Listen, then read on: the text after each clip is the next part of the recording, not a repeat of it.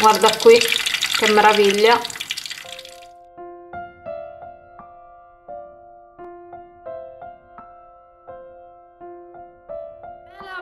Per fare le frittelle di mela, per prima cosa andiamo a sbucciare proprio le mele. Io utilizzo un pelapatate perché mi è più comodo, non sono capace a fare il classico giro che si fa per sbucciarle. Lo so, sono un caso disperato, come si suol dire. Poi, se hai il togli torsolo, usa quello. Io, siccome non ce l'ho, mi ingegno con il coltello, facendo un cerchio da un lato e anche dall'altro. Tagliamo le mele a uno spessore di un centimetro e facciamo la stessa cosa anche con l'altra. Ok, adesso prendiamo le fettine di mela e aggiungiamo del succo di limone per non farle annerire. Questo qui è già in bottiglia, già pronto come si suol dire. Ma puoi utilizzare direttamente il succo dell'agrume, ovviamente. E poi un cucchiaio di zucchero semolato. E mettiamo da parte. Intanto prepariamo la pastella rompendo le uova all'interno di una ciotola aggiungendo lo zucchero. Mescoliamo poi aggiungiamo 3 cucchiai di brandy marsala succo d'arancia o come nel mio caso baileys. Poi il latte.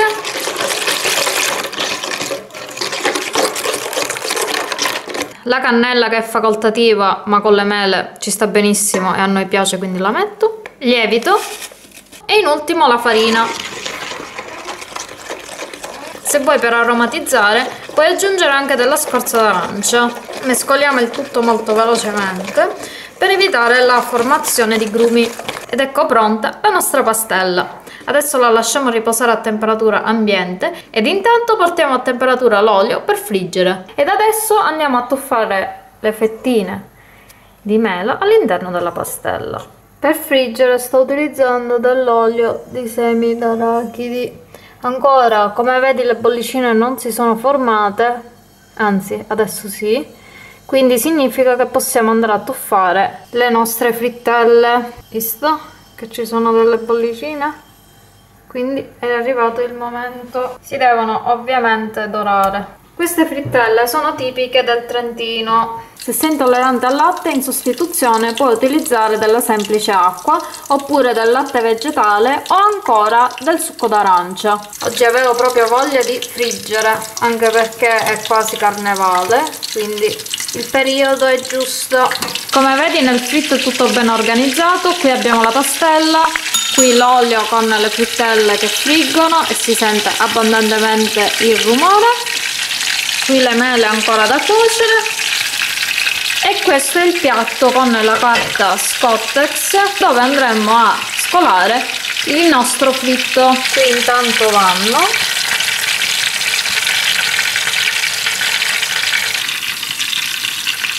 Questi ci siamo quasi visto come si stanno ben dorando ed è così che devono venire. Il fritto ha bisogno di calma. Di conseguenza resiste alla tentazione di toglierle quasi subito perché altrimenti non è vero fritto. Per essere un fritto ad hoc deve essere dorato come in questo caso. Ok possiamo scolare. E a questo punto hai due alternative. O passarle subito nello zucchero semolato oppure attendere un pochettino che si raffreddino e spolverizzarle di zucchero a velo. Io farò in questo modo se ti dovesse avanzare della pastella non la buttare perché in cucina non si butta via mai niente ma facci dei muffin quindi versi l'impasto in dei perottini e li cuoci nel forno preriscaldato a 180 gradi per 20-25 minuti. Se vuoi rendere più goloso questo impasto per i muffin puoi aggiungerci delle gocce di cioccolato. Inoltre, ora che mi sta venendo in mente, puoi realizzarci anche dei pancakes. Come avevo previsto è avanzato della pastella, quindi la utilizzerò per i pancake. Ora ti faccio vedere come si fa. Così c'hai due ricette in una. Ho unto la padella con un goccio di olio di semi qui vado a spolverizzare con lo zucchero a velo. Ed è già subito carnevale. Frittelle pronte. Mettendo la mano così in superficie si sente che la padella rilascia calore quindi è il momento di versarci l'impasto. E vedi che si stanno formando delle bollicine tra un po' sarà il momento di girarlo ecco fatto poi questi li puoi farcire con cioccolato fuso, miele, sciroppo d'acero, come vuoi insomma.